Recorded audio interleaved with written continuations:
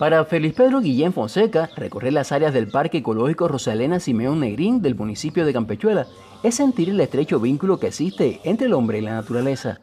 Este sitio es fruto de su extrema perseverancia y el esfuerzo conjunto de la comunidad Marcial Jiménez, que en poco tiempo convirtieron un vertedero en un área de referencia nacional donde se promueve el cuidado del medio ambiente.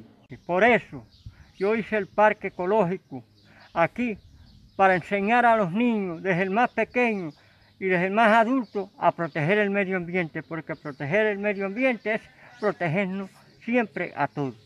Por su entrega en las labores medioambientales, este 5 de junio Guillén será reconocido con el Premio Provincial del Medio Ambiente. El premio para mí significa lo más grande de la vida, porque el premio para mí es que me están reconociendo el trabajo de muchos años que yo he estado trabajando por el medio ambiente, porque a mí me gusta la tarea, amo los árboles, amo la naturaleza, amo los animales, amo el mundo. Llegue entonces el merecido reconocimiento a este incansable defensor de la madre tierra, que un día dejará aquí sus cenizas para que se fundan con el verdor de los árboles que una vez sembró.